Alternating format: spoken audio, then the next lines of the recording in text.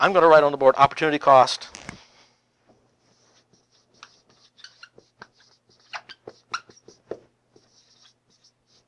Opportunity cost um, and and and uh, positive and normative.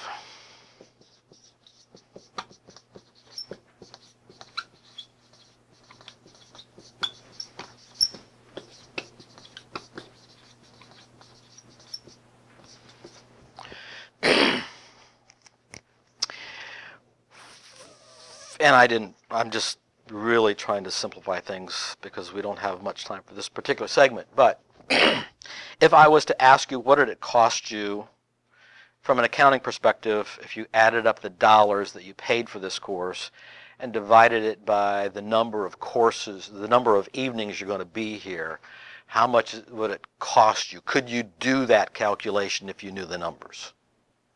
So let's just come up with, let's just say, I don't know, $50, $100, whatever it is, okay? Would that be the cost of coming to this class? And most students would say, yeah. And if you said that, would you be thinking like an accountant or thinking like an economist if you said it cost me X number of dollars to come to class tonight? Class, you can answer that. Accounting. You're thinking like an accountant. That's an objective amount.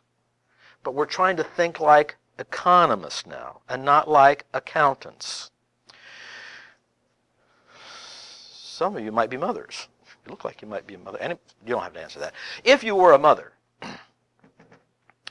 and um, you had a child that was ill, maybe an earache or something like that, and they were very uncomfortable and they wanted their mommy very, very badly because they were in a lot of pain.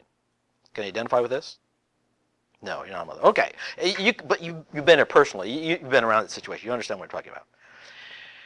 And if that mother says, no, I paid, I got grant money to go to this class, and I signed a thing that I would go to the class, and I'm getting part of it paid for, and I don't want to leave my little child behind, but I got to go to the class because I made a commitment. What is the real cost? Are you thinking dollars and cents when you say, kid, you'll be okay. Here, take this pill or something. And you come to class and you think to yourself, oh, am I a good mom or not? I mean, my kid really, really needed me. And they were crying. They were scared. And I just, I just walked out on them. Is that a cost? Is that something that cost you something? Yeah. Is that a significant cost? Is it a cost that would might possibly change your mind about coming to class tonight? Yes. Are we thinking like an accountant or an economist? Economist. And how do people make their decisions? On an accounting basis or on an economic basis? On an economic basis. We're looking at subjective values of cost and benefit. So we're talking about opportunity cost. We're talking about this subjective economic cost that's not in an accountant's vocabulary. You do not find opportunity cost on any accounting statement. So if we were to list all the things that you could do rather than come to this class tonight, you could stay home with your kid. Now, whatever's at the top of the list, that's what you choose to do. But remember, we use ranking over here to make our decisions. You could iron the clothes. You could go to a movie. You could mow the lawn. You could go out with your friends. You could do the wash. You could clean up the living room. All these things that you could do. But out of all these things, which one is your opportunity cost?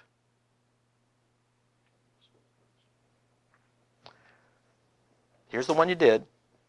If you didn't do this, you would have done that. Whatever second place is, that is your opportunity cost. That and only that is your opportunity cost because that's the opportunity that you actually did give up. Because that's what you would have done if you didn't come to class. And I would submit to you that whenever you're thinking about going to class or doing whatever else, in your mind, you are ranking all the different options that you have. And in your mind, this ranking is whatever comes to the very top, you do it. Whatever comes in second place is called your opportunity cost. Now, that opportunity cost could be big, expensive, or it could be cheap and inexpensive. And the illustration I just gave you, if you had to emotionally devastate your child in order to come to class tonight, I'm saying that is a high, expensive opportunity cost. And you wish you didn't have to make it. But if you didn't have any crying kids, you didn't have anything else to do, you thought it'd be more fun than anything else you could think of, your opportunity cost would be next to nil. Because you're not giving up anything, because that's what, that's what you'd rather do. So there's no cost. In fact, this is the benefit. It's not even a cost. So we can have high opportunity costs and low opportunity costs. Next, we want to talk about positive versus normative economic statements. Positive versus normative economic statements. We talked about this outer belt with Mansfield, and we talked about the idea we've got to get some way of talking to these people to convince them to raise taxes on themselves so that they can have a better life. I know that sounds strange, but I think that's the way it works, isn't it? Isn't that kind of how it works? Pay more taxes so you can have, I don't know.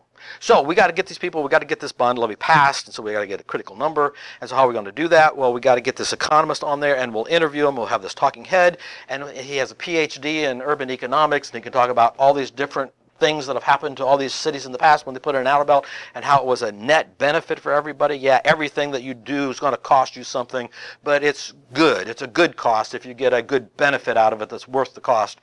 And so they're asking all these questions, and a good interviewer, by the time they're done, they will say, Well, thank you for sharing your expert opinion about this, but now that you're an expert on outer belts, um, from what you know of Mansfield and our location, um, do you think that that we should pass this levy? I mean, that's a good question, right? Now, the reason I bring up that question is because at that point, the economist is no longer making positive economic statements. The interviewer has just asked them to give a normative economic statement. A positive economic statement attempts to explain how things work. If you put in this outer belt, you will reduce the number of traffic lights. You will reduce the number of time in transportation. You will draw more people in who would like to live around here who actually work in Columbus. Um, it, it will increase the tax revenues. It will have enough funds to get rid of all the potholes. It will explain how the economy works. Positive statements explain objectively how the economy works. Um, in my locale where I live, I live in pretty close to a lot of Amish um, people who keep outgrowing their family size and go off to Michigan or Pennsylvania or whatever, whatever. But some of them don't want to stay Amish. And they're called fence jumpers. They jump the fence and they put on their English clothes and play English for a while and then change clothes and go back home sometimes. But sometimes they're permanent fence jumpers. And um, they know how cars work, but they've never done it. They know how buggies work, you know, but cars. And so if you get one of the lady fence jumpers, she would like to learn how to drive a car. if you're English, you got to drive a car. You don't get buggies. English people don't use buggies. So you're, you're trying to help her learn how to drive the car. You say, now that, that, that pedal on the, look down there at the left, that's called a brake. You push on that and the car slows down, right? The one on the right, you push on that, it's called accelerator. That speeds the engine up. So when it's in gear, you push on that and you're going to go faster. If you push on the other one, the brake, you're going to slow down. Those are positive statements because they attempt to explain how the machine works. They attempt to explain how the machine works. But now we got her on the road, and we're driving around here. We're going around a corner close to the area where she's going to be taking her driver's test. We say, "Oh, there's some kids playing soccer over there. You should slow down. I know that I know the speed limit's 15, but you should slow down to 10 or 5 because those kids, when they're playing soccer, you know, if it means the game, getting that ball back into play and win the game, and running out in the street and risking your life, to win the game, do you risk your life to win the game if you're a kid? Oh, absolutely. That's a no-brainer. right? Absolutely run out of the street. What, are you chicken or something? We got to win this game. So you should slow down when you're going around a corner, when they're playing soccer over here because they're kids and they don't have wise judgment. They make all sorts of stupid uh, uh, um, decisions. Now, when I say you should slow down, that is a normative statement because I'm not telling her how the car works. I'm talking about how she should work the car. See the difference? Now let's go back to our example here. We got the economist here. He's talking about the outer belt. He's talking about how the tax system and the revenues and how it uh, applies to tax revenues and how it applies to bringing more economic activity and now our interview asks them to answer not a positive question of how outer belts work, but a normative question of what somebody should or ought to do. Should we put in an outer belt? And once we go from making positive statements where the economist actually is an expert, they are expert. They know their stuff. But when we ask them to give a normative statement, about what should be done or what ought to be done.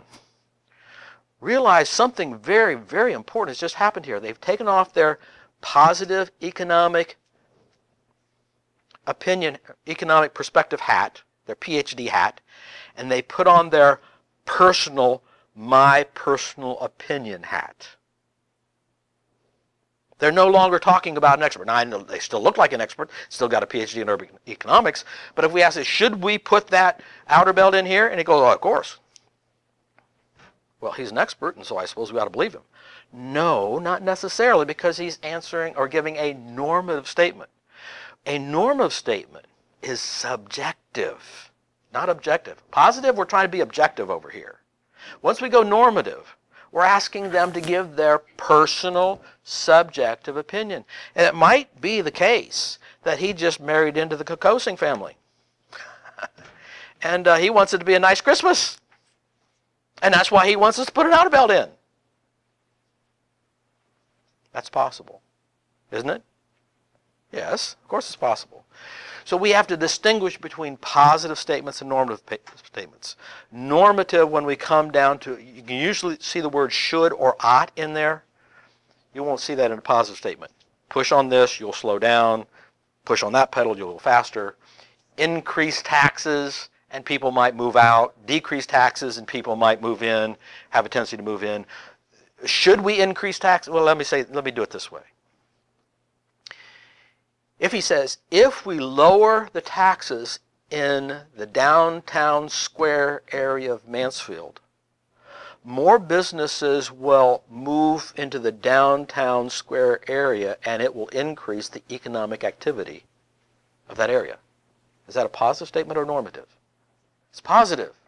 But what if he says we should lower the taxes in downtown Mansfield in order to get more people to move down there? Now that's normative. You catch it? You catch it? And now what time is it? 7.15. I think that I'll cover just a couple more things and then we're going to call it an evening here. I want to just cover some definitions. Some definitions. They're in the text, so I'm not going to spend much time on them.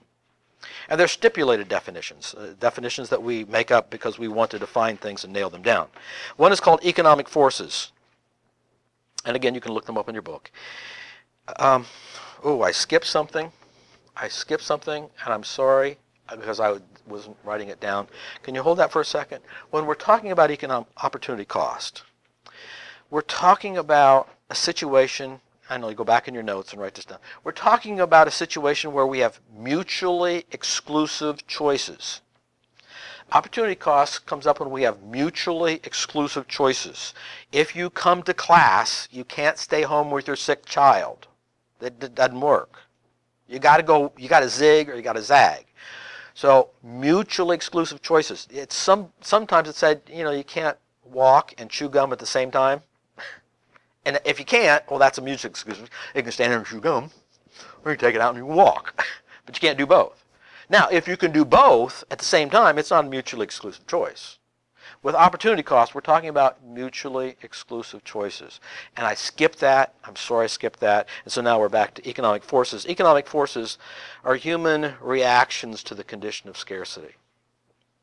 Human reactions to the condition of scarcity.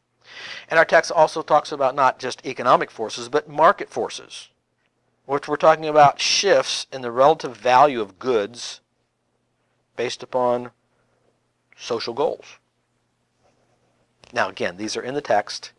You don't have to get them perfect. And then there's another phrase which you already covered uh, in tonight's lecture, and that's called the invisible hand. And the invisible hand is a metaphor for the price mechanism. That's this interaction of supply and demand and market equilibrium, which you learned about in your microeconomics class that when the price goes up, people tend to look for substitutes or they don't buy as much. But when the price goes down, people change their attitude toward that. And they say, oh, that's cheap. You know, I left on vacation, all the air conditioning's running, but the cost of electricity is pretty cheap, so I don't really care. But if the cost of electricity was really expensive and you're 100 miles down the road, you stop, you call somebody, or if you have to, you go back and turn off the electricity if it's really, really expensive. So that's the invisible hand causing us to either, ah, forget about it, let the electricity run, or we stop and we go back and we turn it off based upon this invisible hand telling us what's in our own best interest. We're going to begin next time with economics as a social science. Next time we're going to begin with economics as a social science in contrast to a natural science. A natural science would be something like biology or physics or chemistry. And a social science would be studying the behavior of human beings. When we study the behavior of human beings, we're talking about a social science. And I'm bringing that up because economics is a social science. We're studying the behavior of people.